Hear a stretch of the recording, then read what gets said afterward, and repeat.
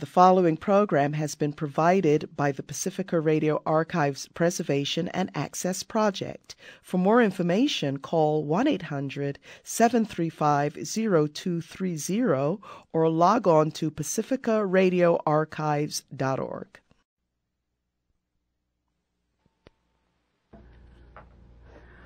The subject of today's discussion is the invasion of Czechoslovakia. As my commentary, I shall read to you an article by Avis Brigg from the forthcoming issue of my magazine, The Objectivist. Needless to say, I agree with the views expressed in this article, and I want them to be heard. I quote from Cultural Trends by Avis Brigg. Quote, According to the Brothers Grimm, there was once a shepherd boy who so loved excitement that he was forever turning in false wolf alarms for the fun of seeing the villagers come running to the pasture, armed with clubs and guns to deal with the wolf. As time went on, and no wolf was ever there when the villagers arrived, Fewer and fewer of them answered his calls for help. And finally, when the wolf actually came, no one at all paid any attention to him, and the wolf ate him up. If the Grimms were collecting folk tales today, they might find a story that goes like this. Once there was a shepherd boy who was so afraid of having enemies that he refused to believe that wolves existed at all. When the wolf made off with one of his flock, he always managed to think of some likely sounding story with which to convince himself and the villagers that no wolf had been involved. The wolf grew strong and commenced to raise a family. And the shepherd boy got better and better at inventing stories to account for the diminution of his flock, so that pretty soon no one believed in wolves any longer, and the wolf and his cubs could walk through the village streets without fear of being recognized. If the story were carried to its logical conclusion, the ending would be far worse than that of the original tale. For if the wolves were smart enough to realize that the shepherd boy was the best friend they had, they could pull down all the sheep and indeed all the villagers as hunger decreed. All they would have to do would be to save the shepherd boy until last, for he would always find a way of convincing the survivors that there were no wolves. Indeed, I suspect that he would be telling himself the same thing even while the wolves were dragging him off to their lair. There are wolves aplenty in the world today, and our government and our press and our halls of learning are literally full of shepherd boys who cannot allow themselves, or anyone else if they can possibly help it, to believe in wolves. Unlike the shepherd boy in the story, they are willing to admit that Soviet Russia once was somewhat carnivorous but, they insist, she has filed down her fangs and become a vegetarian. She might unthinkingly get a little rough at times, but she means well and would never hurt a soul. Twelve years ago, that particular wolf pulled down the equivalent of one of the villagers. Russia invaded Hungary and brutally crushed its people and has been gnawing their bones ever since. The free world stood in horrified paralysis and watched unbelieving, and no one lifted a finger to help. Since then, Russia has been involved in many coups and attempted coups among the developing nations. American troops have been killed by Soviet guns and bombs everywhere they have fought in the last 20 years. And once Russia went so far as to indicate quite clearly that the United States was on her list. Russian missiles aimed at the industrial and population centers of the United States were installed in Cuba.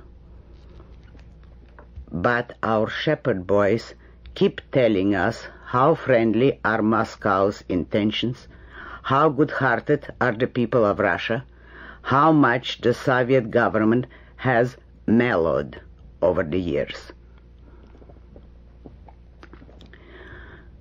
Now, once more, one of the civilized nations, Czechoslovakia, has attempted to free itself of its bondage to Moscow and has been crushed under the tanks of the Red Army.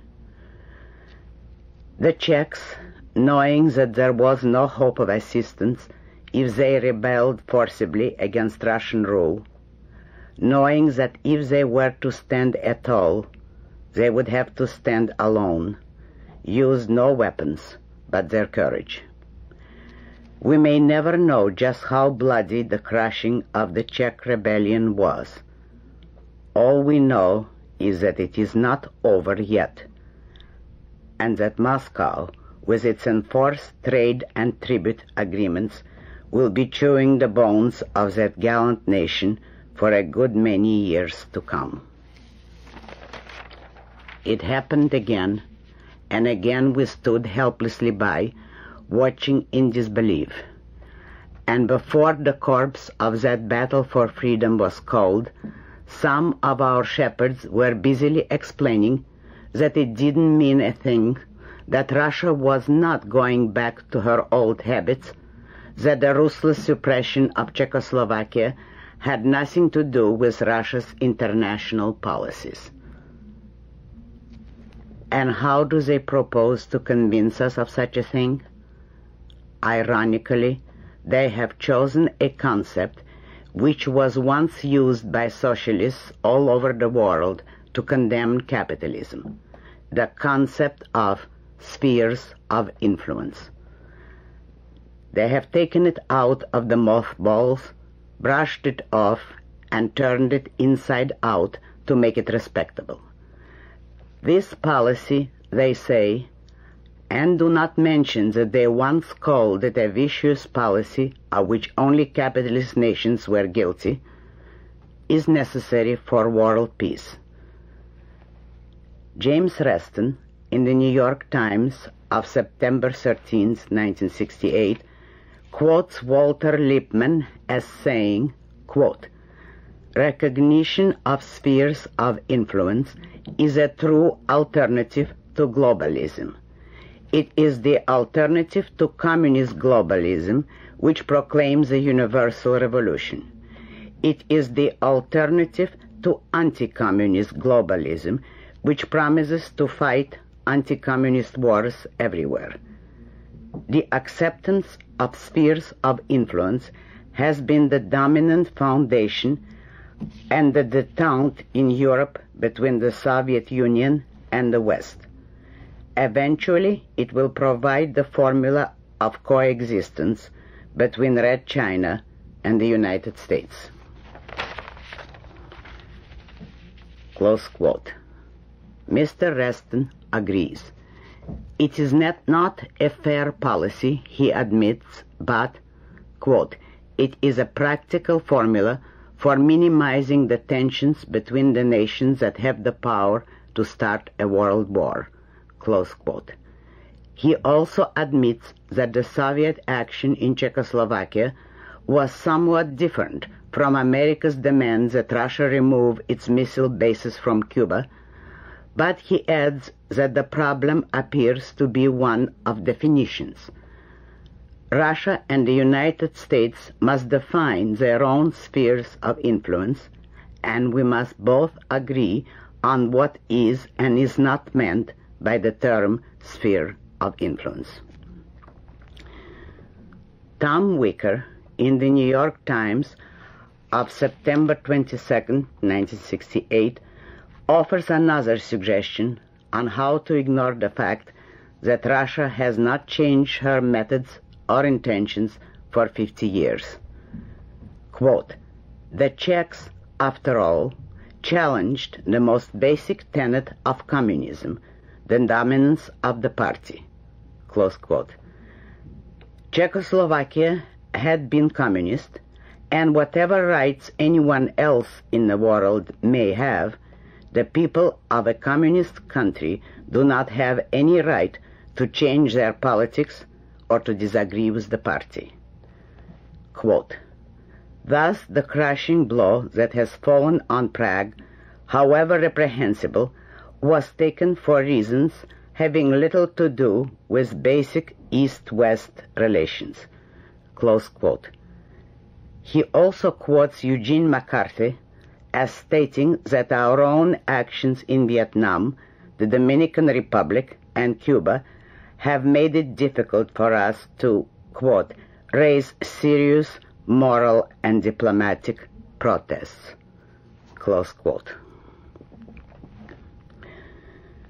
Mr. Wicker indicates another reason for continuing to believe that the Soviets have mellowed, even so, he admits, not quite as much as we had hoped.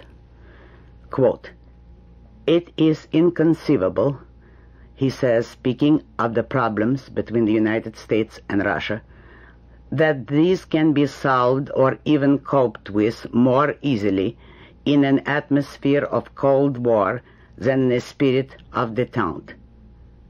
The Soviets and their allies have not, have not made that easier to do, but they have not made it impossible either. Close quote. One wonders what the Soviets would have to do to make Mr. Wicker believe that it is impossible, or if indeed there is anything at all they could do to convince him. It is somewhat encouraging to note that on the same day Mr. Wicker's article appeared, the New York Times also ran an editorial which disagreed with his views.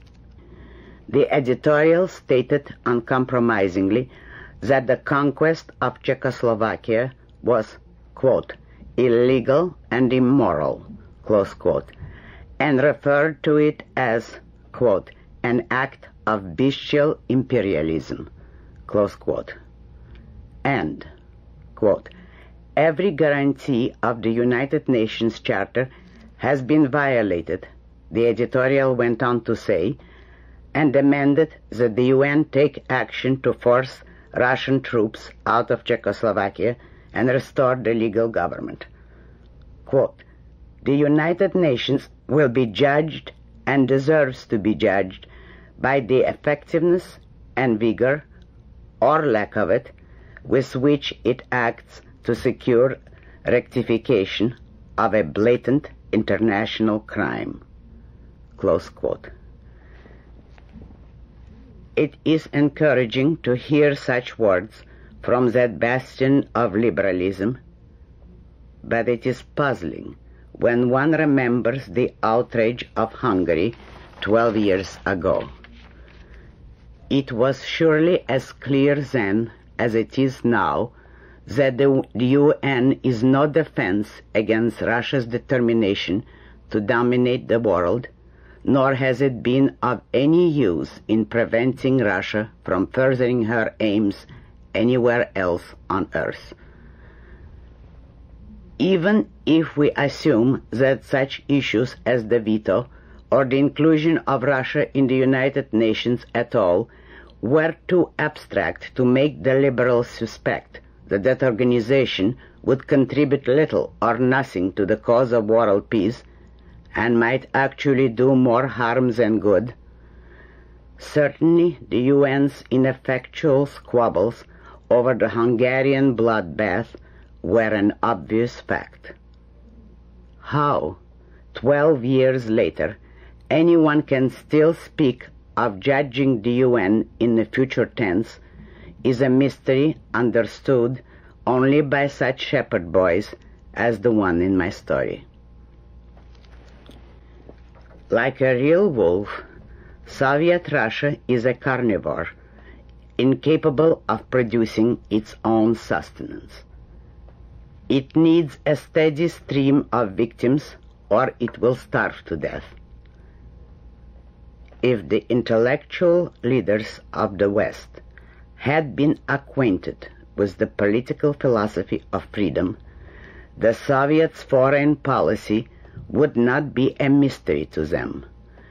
They would know that that policy had to be as rapacious as it has been. Throughout history, to the degree that the people of a country were free, they were productive and prosperous.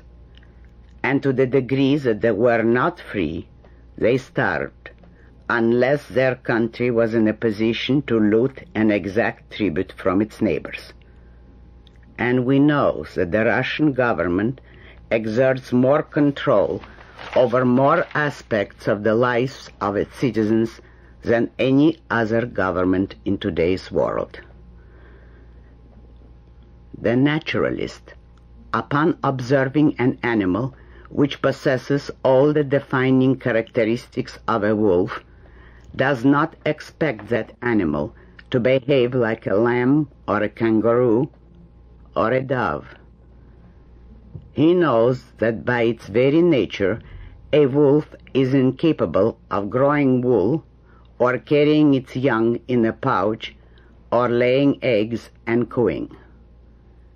The political scientists, if they are scientists, should know that a totalitarian nation, by its nature, cannot mellow in the manner so hopefully described by the legions of shepherd boys here and abroad. Force, aggression, enslavement are its only means of survival. These conclusions, however, are not part of the political philosophy of those who determine our foreign policy. What then is their philosophy?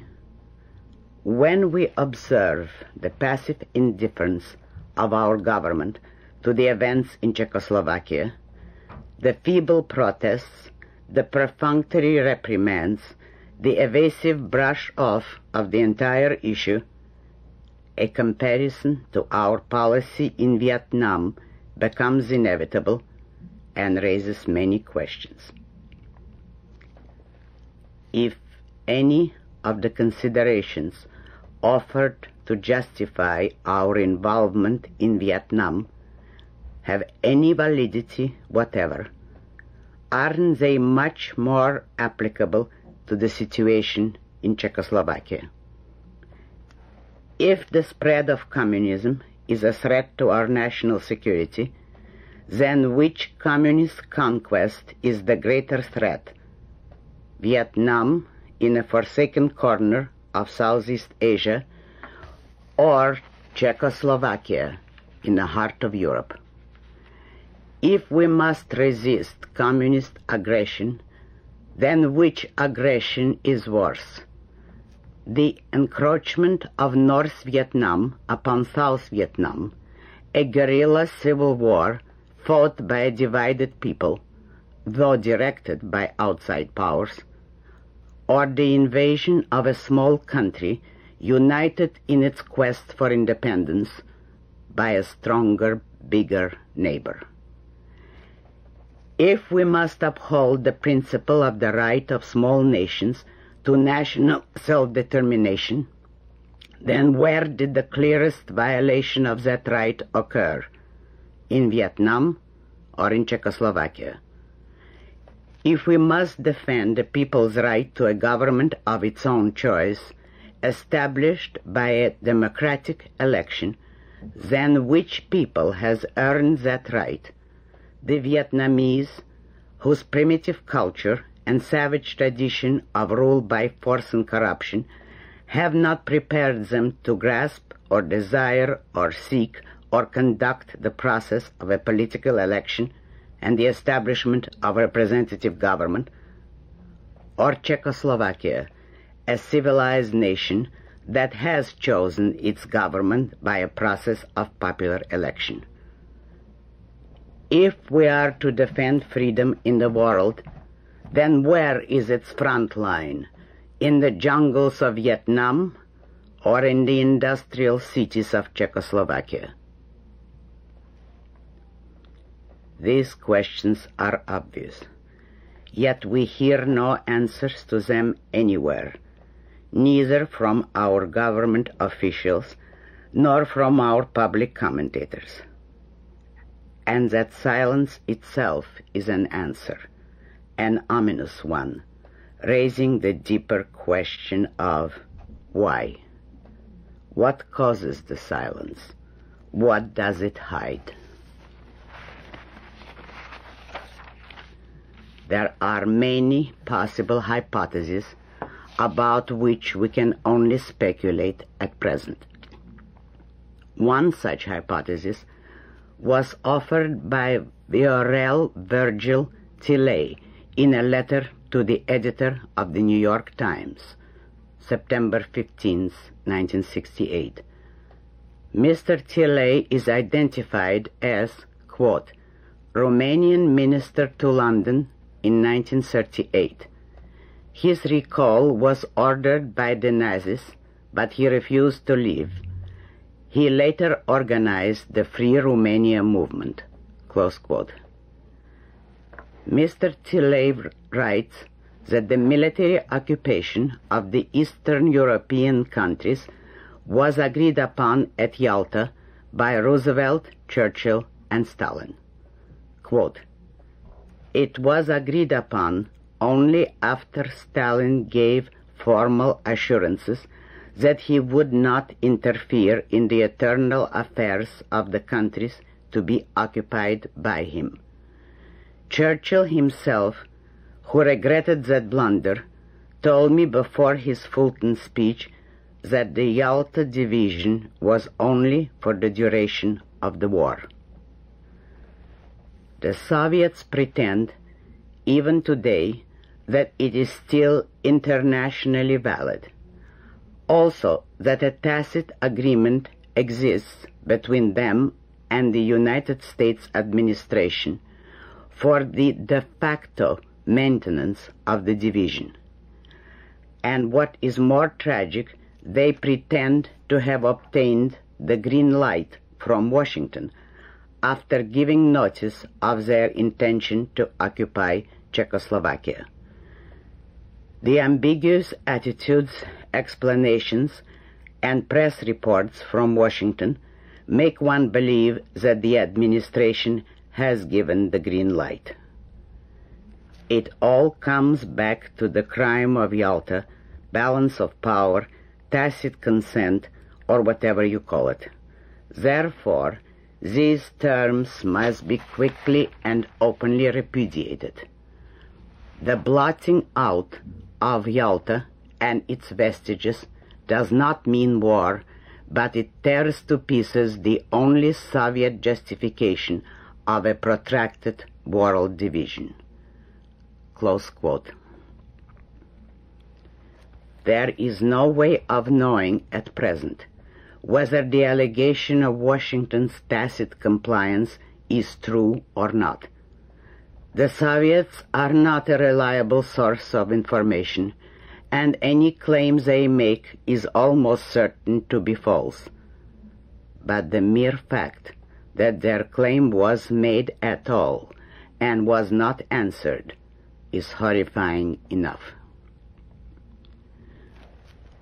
One of the most bewildering issues in the all but incomprehensible field of American foreign relations is our policy toward the Russian-dominated nations of Eastern Europe. What precisely is our policy and what are its reasons? If the next administration will take a clear-cut stand on this issue, it will be taking a major step toward a rational foreign policy. Close quote. This was an article by Avis Brick entitled Cultural Trends from the forthcoming issue of my mag magazine, The Objectivist. Now, I shall add a few comments of my own. The prospects of a change in our foreign policy in regard to Europe are not very bright, particularly in regard to our attitude toward Soviet Russia.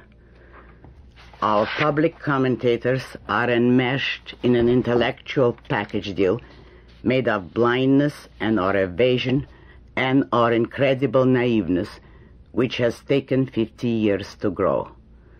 There is nothing as naive as the attitude of cynical modern pragmatists in the presence of an idea or a political ideology.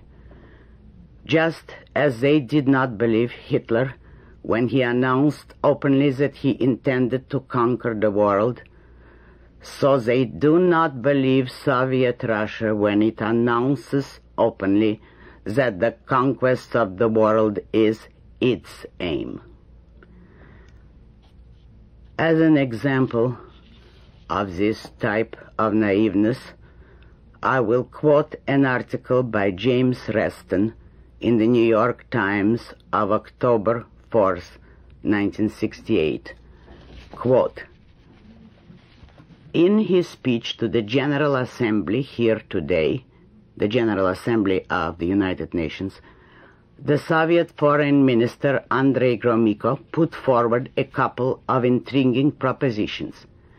There is no contradiction, he said, between the Soviet Union's aggression in Czechoslovakia and its desire for peace.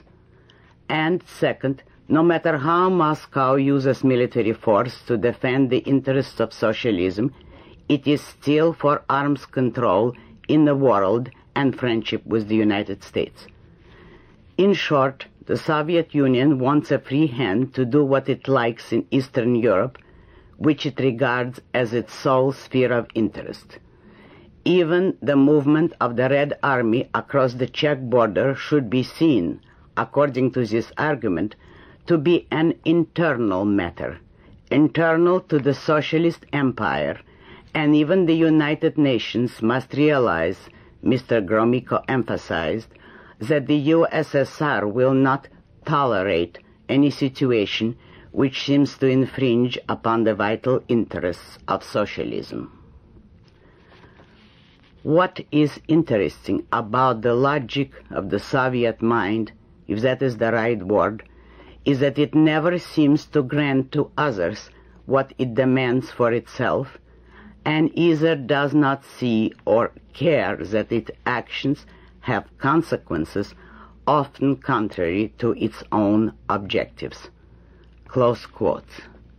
Mr. Reston then proceeds to state that the Soviets' objectives are peace in the world, that the Soviets really do want peace and friendship with the United States, and therefore, he claims, they are defeating their own aims by invading Czechoslovakia and therefore arousing a great many people in this country against any treaties, any friendship, or any trust towards the Soviet Union. The naiveness of this position lies in the fact that Mr. Reston apparently does not grasp the nature of the Soviet aims. He does not grasp that they, the Soviets, are practicing the philosophy of pragmatism much more consistently and effectively than its practitioners in America. The Soviets do want friendship with the United States for a while they do want peace for a while, for as long as it fits their purposes. Any peace or friendship they seek is only for the purpose of undermining and destroying the United States and the rest of the semi-free world. Their policy in Czechoslovakia is not a contradiction to their actual long-range goals.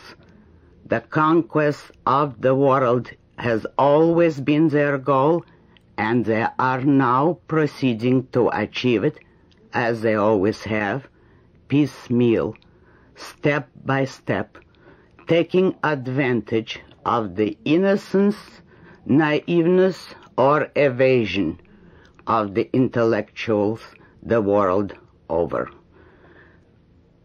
Uh, there is no hope for a change in this situation until the intellectuals of the West begin to grasp that Soviet Russia is a monstrous totalitarian dictatorship, that that is all it is and all it can ever be, and then we must gauge our attitude and our foreign policy accordingly.